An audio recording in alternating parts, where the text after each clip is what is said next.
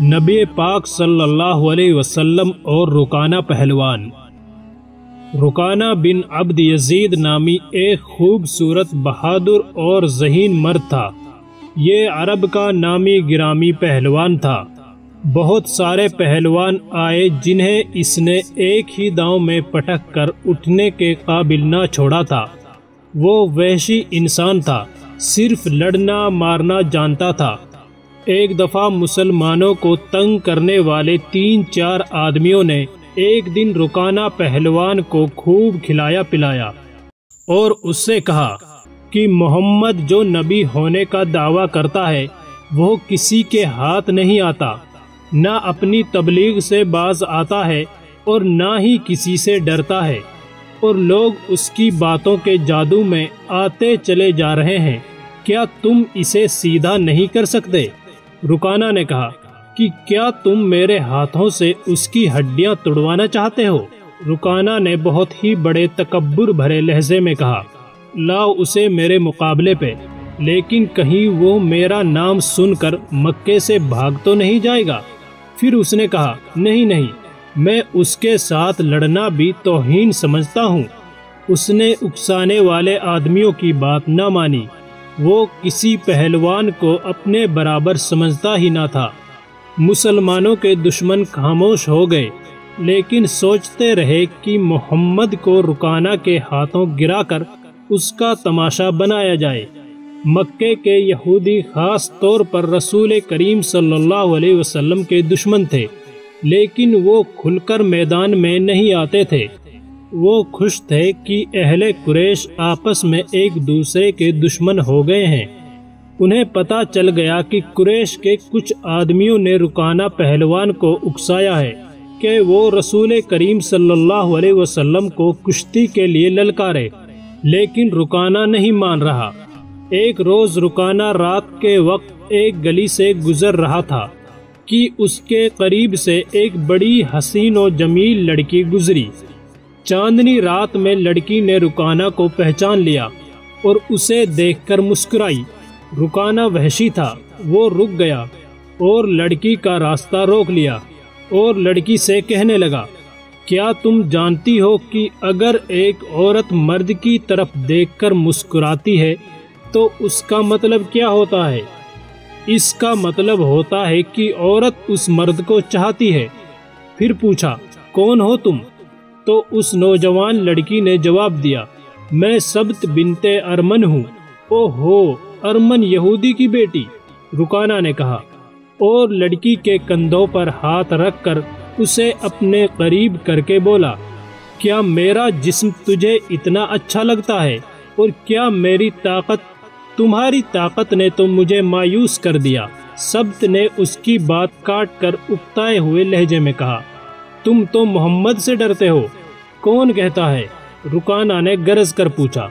सब कहते हैं सब्त ने कहा, इसलिए पहले मोहम्मद को गिराओ, मैं अपना जिस्म तुम्हें इनाम में दे दूँगी।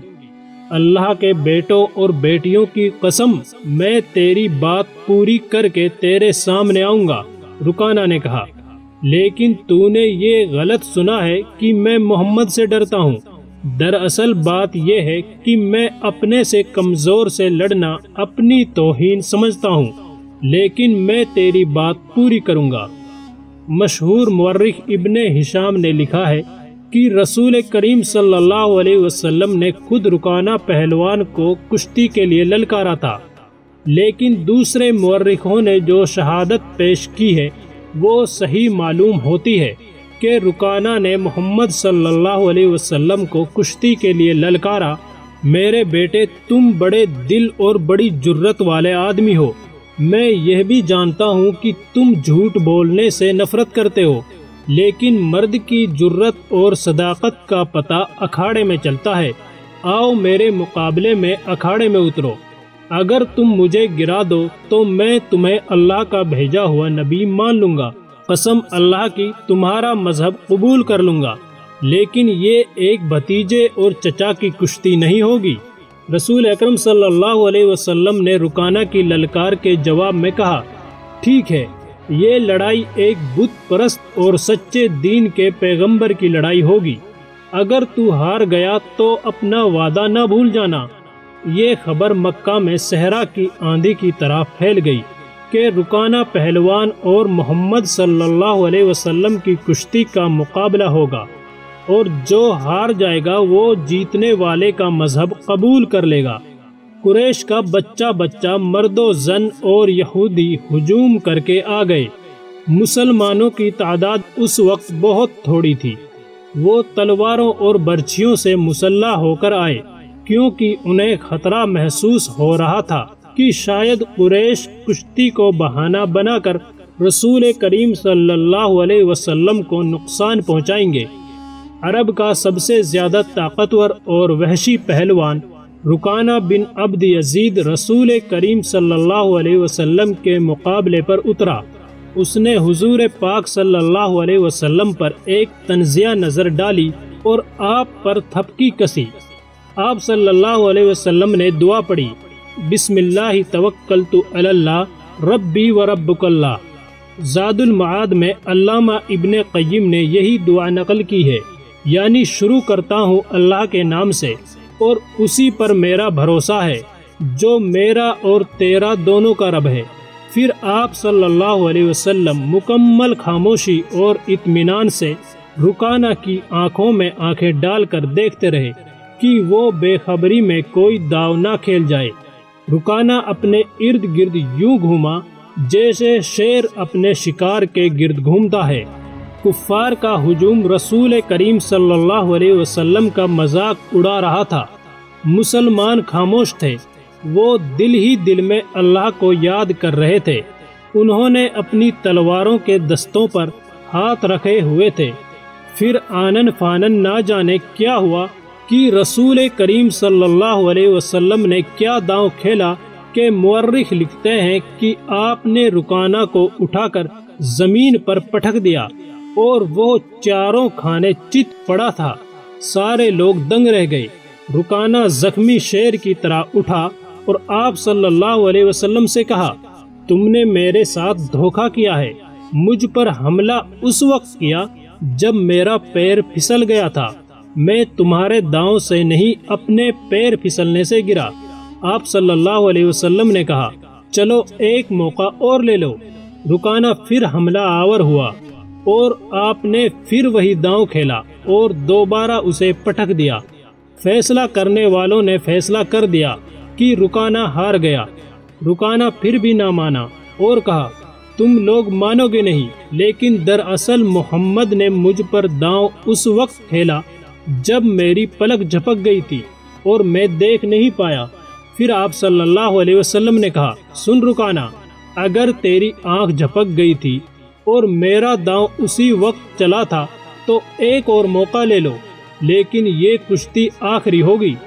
तीसरी बार रुकाना बहुत जोश खरोश के साथ आप सल्लल्लाहु अलैहि वसल्लम पर झपटा। इस बार भी आपने ज़्यादा वक्त नहीं लगाया। और उसे आनन फानन में ही तीसरी बार भी पटक दिया। भारी भरकम जिस्म तीन बार पटका गया तो कुश्ती जारी रखने के काबिल न रहा। सर झुकाकर हार तस्लीम कर ली। अखाड़े से निकल आया।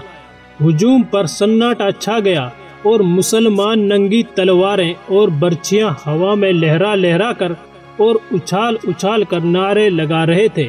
रसूल करीम सल्लल्लाहु अलैहि वसल्लम ने ललकार कर कहा, रुकाना, अपना वादा पूरा करो और ये ऐलान करो कि आज से तू मुसलमान है। रुकाना मुस्कुराया और कहा, मोहम्मद, अपना इनाम लो और यहाँ से चलते बनो। क्या तूने मुझे इतना बड़ा सच्चा समझ लिया कि मैं अपना वादा पूरा करूँगा? मेरी आज तक की पूरी ज़िंदगी झूठ पर टिकी है। मुझे कसम है लातो उज्जा की पहली बार जब तूने मुझे पटका था तो उस वक्त भी मैंने झूठ ही बोला था कि मेरा पैर फिसल गया है। और इसी तरह दूसरी बार भी झूठ बोला था कि मेरी आँख झपक गई थी। मेरा कोई पैर नहीं फिसला था और ना ही मेरी आँख बंद हुई थी। वादा पूरा करने का तो सवाल ही नहीं पैदा होता।